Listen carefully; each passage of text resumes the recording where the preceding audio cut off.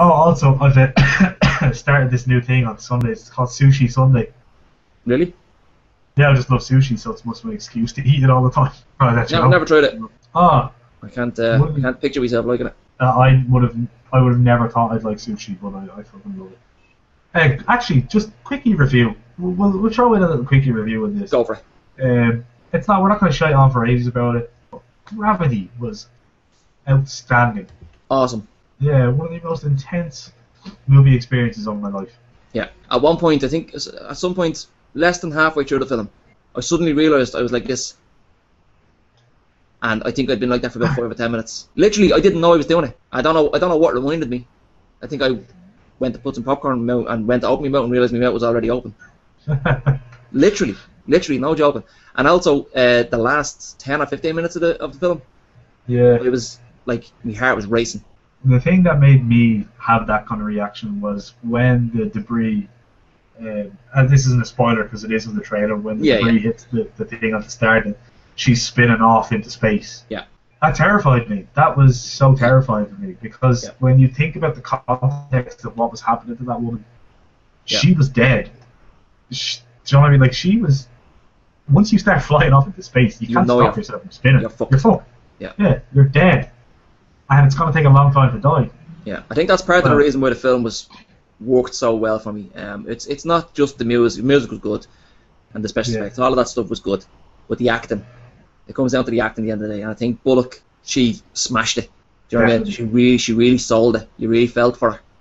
Even though Yeah. what was great about it was she actually came across as a fairly cold character at the start Yes. of the film, cold-hearted and, and all business and what have you. Um, and then you find out she has a bit of a, the, a bit of a trauma in her personal history and what have you. Um, and it's not as if they used that trauma to get you to like her. You just grew to like her naturally anyway. Yeah. Um, and you, you, you sympathise with her plight. You really f- you, you felt like you were in her shoes. You were living it through her. I found myself willing her to, to survive. Exactly. Uh, Yeah. Sitting in the chair going, I come on, please, please do this because I want you to live. Yeah. And I just thought the storyline was brilliant. She she is brilliant in it, but just it, it reminded me as well, uh, Clooney. It's, Yeah. it's got to be his best role. It's the role he was made for. He's he's this suave, typical suave hot dog ast- astronaut type guy. Kind of, it's it's all about how cool he is, and of course you're thinking cool, you're thinking George Clooney, but also there was another side to him as well. Yes. A, Yeah. a cared inside, maybe he wasn't all about the suaveness and the jokes. There was also Yeah. this other angle to his, his character as well, which normally you don't get with him. It's Yeah. normally just look at me, I'm so fucking suave with my hair. It's it's definite Oscar fodder, as in you could tell it's one of those movies that people will really be like, it, Oscar, Oscar, Oscar. You know it's going to do well at the Oscars, but Yeah, in every this time it's deserved. Like things like Avatar and The Artist. Yeah. And like No. the really The Artist that didn't deserve an Oscar. It's a fucking two-hour silent film of shit. I'm sorry, I did not like The Artist at all. I didn't see it. Right. I didn't see it. I'd like to see it just because it's so unusual. Um, but I didn't see it. it's it's not as good as everyone made it out to be. The best Yeah. thing about it is the dog. I thought. I just I don't think it deserved the praise it got. No. But this film definitely does deserve any awards it wins, Yeah. and then some. And I I think they should create a new category and give an award to Sandra Bullock's arse. Amazing. My God, the woman is. uh, Yeah. The performance her arse gave was, was beautiful. It was Yeah. heart wrenching. It was a well-rounded character. I really, Yeah. really enjoyed it. Yeah, Yeah. yeah. I was on the edge of my seat. And horse. There was one bit. Uh, I just thought it was slightly on the nose where she gets into one of these capsules, and she's she gets stripped, and I thought that was a throwback to uh, Barbarella. Have you ever seen Barbarella? Nope. Ah, bollocks. Okay, for all the older viewers, Sandra Bullock gets out of her spacesuit, and I just thought it was a throwback to Barbarella, which was slightly on the nose. But while she's floating about, catching her breath for the first time in about 20 minutes, she's floating, and you're, she's kind of in the fetal position, and there's also a cord, there's some sort of a cable floating in front of her. And it was like, straight away, I was like, fetus. We're definitely supposed to think fetus here. The, the warmth of the womb. Um, which was grand, which was grand, but it went on for another couple of minutes, and I was like, I get it. I get it. It's a fucking fetus in a womb. You don't need to hammer it home so much. That's that was the literally the only problem I had with the whole film. And it, uh, you know, when you think about it, is it really that big of a problem? It's not. No, but in the context of the movie to not spoil this movie at all because everyone I think should definitely go and see this. Really, But, uh, yeah. In the context of her character, I think the way why they did that was very important. I think it was supposed to show that this is the she was in an environment where we're not supposed to be. No, I'm not saying I don't. I mean, space exploration is probably one of the most important things we can do, but Yep. naturally, na- in nature, we're not supposed to be up there. And uh, her getting back into a semi-Earth-like environment was almost like her going back into a natural thing. You know I mean? Yeah, So- and it was the first chance she'd had to basically relax in yeah. like an hour or something at this point. Also, Um, she was. Like, It, was, it was still don't, don't get me wrong. Uh, as much as I'm complaining about it being on the nose, it was still a beautiful scene, and Yeah. it's it still belongs in the film. The whole fact of getting into this thing and getting stripped and just catching a fucking breath. So I, I, I actually want to take back any criticism of that scene. you know, every now and again a movie comes along where you cannot find any fault with it. It's just perfect. Yeah. And in fact, I could be wrong. Like what's Alfonso Cuarón? Is that his name? Yeah, something like that. If he's watching this right now, he's probably saying to himself, "Oh yeah, she kind of does look like a fetus." Never thought of that. Yeah, Do you know what I mean? I could be putting words in his mouth. yeah. He's probably going, "Fuck, that would have been a great idea." Yeah, I should have emphasised it more. Yeah. Maybe if we could hear a heartbeat.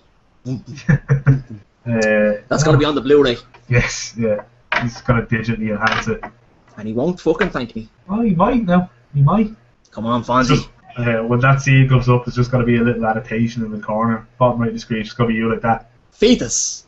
Mm. Here's a question for you. Uh, Iron Man three. Am I right in saying there was like a different version of that shown in China? Yes, there was. They had they had like a load of extra scenes. Uh, not a lot. There was. I, I've watched both. There was about. Yes, a cut of the film produced for release exclusively in China includes additional scenes featuring Wang. There's never enough Uh, scenes featuring Wang. Yeah, and an appearance by Fan Bingbing as one of his assistants. So Bing Bing is Wang's assistant. Obviously, And Bing Bing is fucking amazing looking. Jesus Christ. Hello. really, yeah. Uh, have you seen the latest Wolverine movie? No, I have it, uh, and I'm gonna sit down and probably watch it after this. Right. But uh, go ahead. Sorry, go no, go ahead. no, no. No. I'll say nothing. I'll say nothing. Get back to me. Is this the yellow suit? Wolverine, yellow suit. Did you not hear about this? Are you an X Men fan? Okay. As in, do I know what Wolverine looked like in the comics? Yeah. Yes. Yeah. Yeah. No, I've always I'm I'm a, I'm a comic nerd. Do you know what I mean? I've always. I, I, I'm like a what's the word? I'm like a, a passive nerd.